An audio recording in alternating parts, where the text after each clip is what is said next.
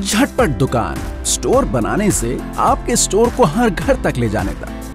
Big bless big bless, हर कारोबारी की खुशियों की चाबी, खुशियों की अपनी दुकान।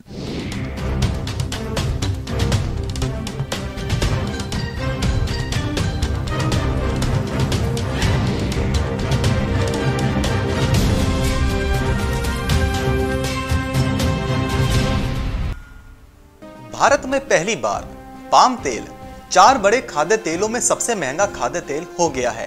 गौरतलब है कि यूक्रेन पर रूस के आक्रमण के साथ ही देश में सूरजमुखी के तेल की सप्लाई थम गई है, जिसके चलते खरीदार सूरजमुखी के तेल के विकल्प के तौर पर पाम तेल की तरफ़ रुख कर रहे हैं, जिसके चलते पाम तेल की कीमतों में भारी बढ़ोतरी देखने को मिल रही है।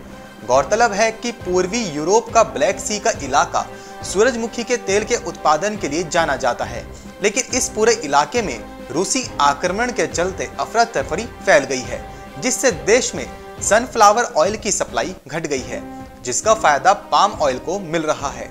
यूक्रेन और रूस के युद्ध का मलेशिया और इंडोनेशिया की तेल कंपनियों ने फ़ायदा उठाते हुए खाद्य तेलों के दाम और महँगे कर दिए हैं।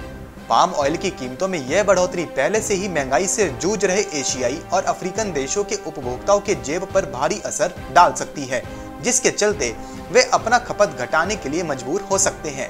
अंतर्राष्ट्रीय बाज़ार में कच्चा पाम तेल का भाव 1925 डॉलर प्रति टन पर नज़र आ रहा है। दूसरी तरफ़, क्रूड सोया तेल का भाव अठारह सौ पैंसठ डॉलर पर है। यह भारत के लिए मार्च में होने वाले शिपमेंट के भाव हैं।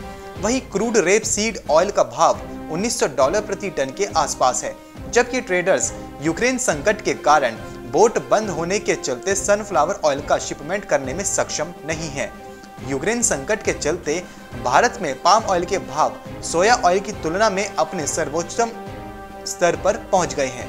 बताते चले कि ब्लैक सी का इलाका दुनिया भर के सनफ्लावर ऑयल उत्पादन में 60 फ़ीसदी की ओर इसके एक्सपोर्ट में छिहत्तर फ़ीसदी की हिस्सेदारी रखता है। जब तक रूस का आक्रमण खत्म नहीं हो जाता, तब तक यूक्रेन के पोर्ट बंद ही रहेंगे। एशियाई और यूरोपियन रिफाइनरियों ने सूरजमुखी के तेल की जगह भरने के लिए नियर मंथ शिपमेंट के लिए पाम ऑयल की खरीदारी बढ़ा दी है। उनके पास सोया ऑयल खरीदने का भी विकल्प है, लेकिन सोया ऑयल तुरंत शिपमेंट की संभावना सीमित है।